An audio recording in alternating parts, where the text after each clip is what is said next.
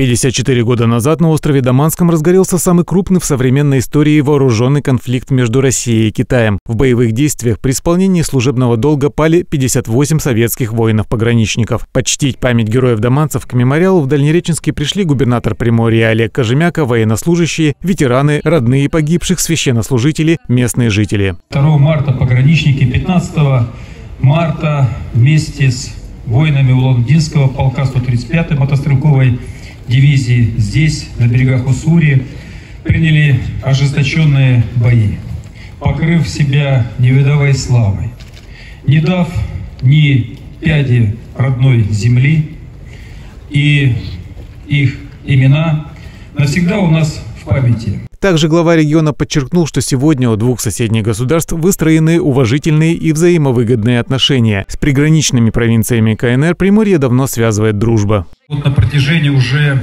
30 лет мы выстраиваем новые отношения с нашим соседом. И мы видим, насколько это важно.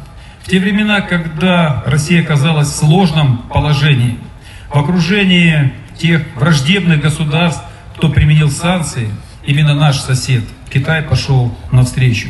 Мы и будем дальше крепить нашу дружбу с нашими соседями, делать все, чтобы наша граница была нерушима. Ну а память о подвиге пограничников, 54 года назад защищавших нашу Родину, навсегда останется в наших сердцах.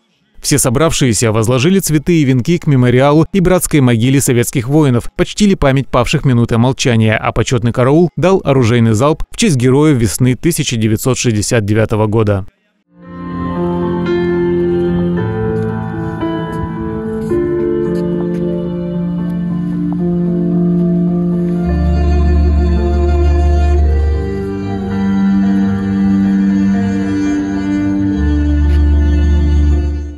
Также Олег Кожемяка побывал на пограничных отделениях Даманская и Нижнемихайловская в Пожарском округе, возложил цветы к мемориалу у заставы имени Героя Советского Союза Ивана Стрельникова и пообщался с пограничниками, несущими боевую вахту сегодня. На заставе организован музей боевой славы, который регулярно посещают экскурсионные группы со всего края. Олег Завьялов, новости на восьмом.